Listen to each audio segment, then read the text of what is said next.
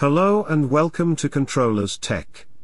This is the eighth video in the STM32 ADC series. In today's video we will cover the ADC injected channels. We will see the difference between the regular channels and injected channels, how to configure the injected channels, and what are different working modes in injected channels. I am using the same H750 based custom development board for this tutorial, which you can purchase from the Controllers Tech Store. Here I have already created a new project for this video. This is basically a multiple channel reading with circular DMA mode. Here you can see four different ADC channels have been configured, just like we did in the previous videos of this series. The continuous conversion mode is enabled, so the conversion for the sequence of four channels will continue as soon as the first sequence is finished. The DMA is enabled in the circular mode. I have configured four channels in the regular mode, and the sampling time for all the channels is set to maximum. I have also set the pin PA1 as the output, so that we can measure the conversion rate for these channels. Here in the main function, we start the ADC in the DMA mode. Once the conversion for all four channels is finished, an interrupt will trigger and the conversion complete callback will be called. Inside this callback we will toggle the pin PA1. This will give us the time taken by these four conversions to finish. Since we are using DMA, a Cortex-M7 based processor, we are relocating the buffer to a separate RAM. The relocation is defined in the flash script file, and the MPU is already configured in the CubeMX. I have already covered all this in the circular DMA video. Alright we will first test this part, so that we can see the conversion time for these channels in the continuous mode. I am going to measure the pin toggling time on the logic analyzer. Let's run the debugger now. Here you can see the data from four channels is being shown in the live expression. Let's capture the pin P, A, 1 on the analyzer. You can see the pin remains high and low for approx 1.02 milliseconds. This time remains almost constant for each toggle. So we can deduce that the total time taken by ADC to convert four channels, along with the DMA to transfer the data, is around 1.02 milliseconds. Remember this time, as we will compare it with when we enable the injected channels. Now let's see the ADC injected channels. Before we configure the injected channels, let's understand what it is. Here I have the reference manual of F446RE, and I have highlighted the important points regarding the injected channels. As mentioned here, the regular group can have up to 16 conversions, whereas the injected group can have up to 4 channels. This number can vary depending on the microcontroller, so do check the manual of your controller. The single conversion mode works in the similar way for both regular and injected mode, we can convert the group of channels once. The regular channels can be used in the continuous conversion mode, whereas the injected channels cannot be converted continuously. Although there is an exception when the injected channels are being used in the auto-injection mode. We will see this in a while when we will cover the auto-injection mode. Let's see the types of injections we have. The first one is the triggered injection. As the name suggests, in this mode the conversion is started either by the software, or by the external trigger. In triggered injection mode, if the injected conversion starts while the regular conversion is going on, the regular conversion is reset, and the injected channels are converted once. Then the regular conversion is resumed from the channel where it was interrupted. But if it is the other way around, the regular event occurs during an injected conversion, the injected conversion is not interrupted, and the regular sequence is executed at the end of the injected sequence. Basically the injected channels have higher priority, and it can interrupt the regular conversion sequence. The next mode is auto-injection. In this mode, the injected group is converted at the end of the regular group, We have discussed above that the injected group can be converted continuously in this mode. Let's assume that we have six regular channels in the continuous conversion mode, along with three injected channels in auto-injection mode. The six regular channels will be converted first, and then the three injected channels will be converted. This sequence of conversion will continue forever. So basically we will be converting a total of 9 channels. Although the interrupts will trigger separately for the regular group, and the injected group. We will see working of both modes now. Let's configure the Cube MX again. I am going to enable two more ADC channels, which we will use with the injected mode. The channel 18 needs to be manually enabled from here. Now scroll down to the injected conversion mode, and enable the injected conversions. The number of channels are going to be 2. We will use the triggered mode first, and the trigger source is going to be the timer 1 trigger out event. This is when the discontinuous mode is used for the injected channels. Let's configure the ranks for these injected channels. I am setting rank 1 for channel 18, and rank 2 for channel 19. Both channels are configured with least sampling time, that is 1.5 cycles.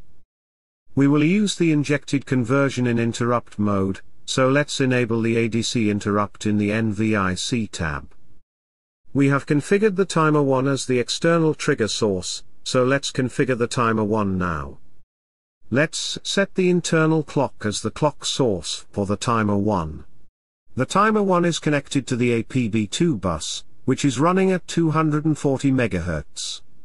We have already discussed this configuration in the previous video, so I will cover it in short this time. I am going to use the prescaler of 2400, along with the auto reload of 1000. This will bring down the timer clock to 100 Hz, so the trigger time will be every 10 milliseconds. Set the trigger event selection to update event. Let's also set the pin PA2 as output, so that we can measure the trigger duration on the scope.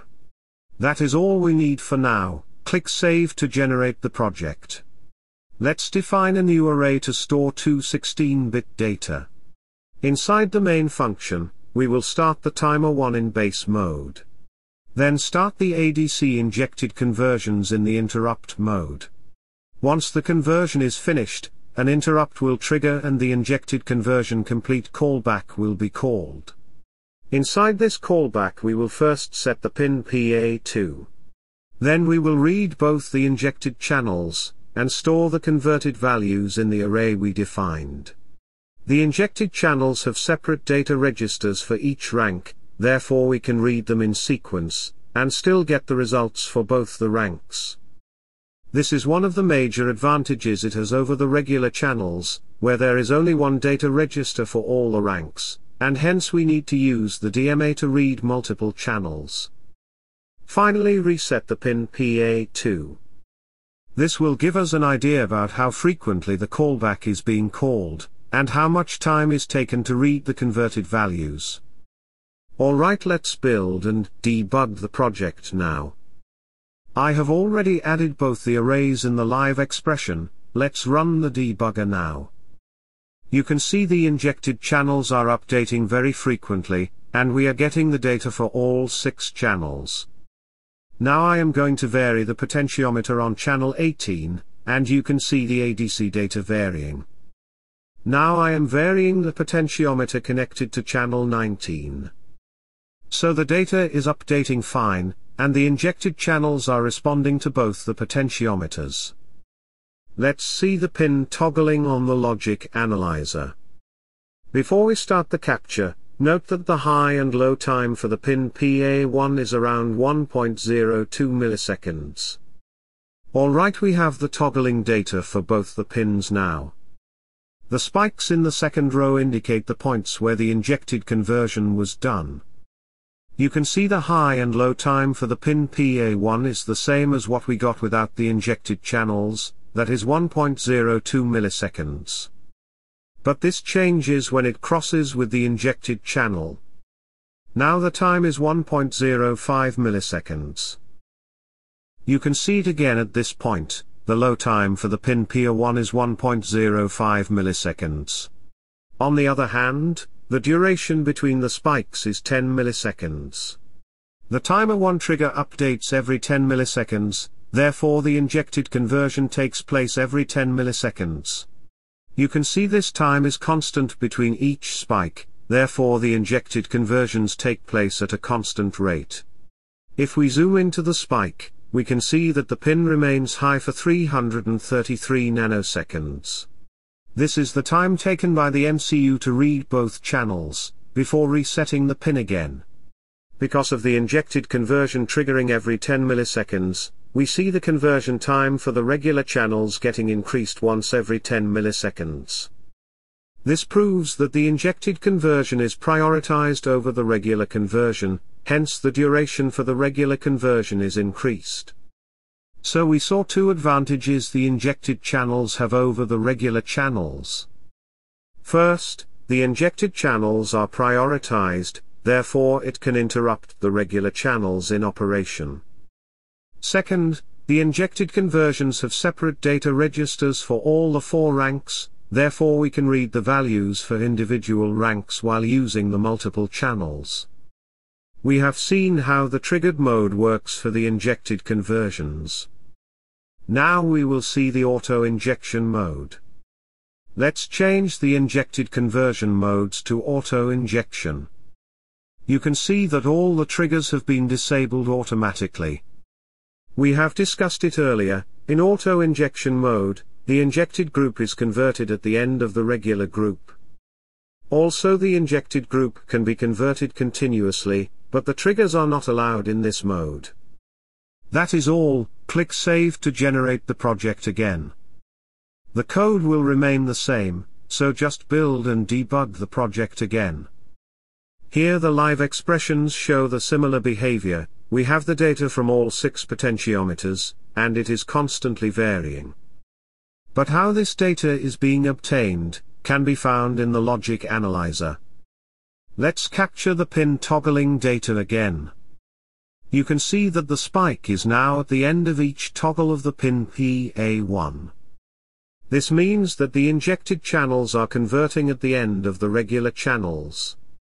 The toggle indicates that the regular channel has finished conversion, and the callback is also served. Immediately after the toggle, you can see two spikes in the pin PA2. These are because we are converting two injected channels, and therefore the interrupt is being called twice.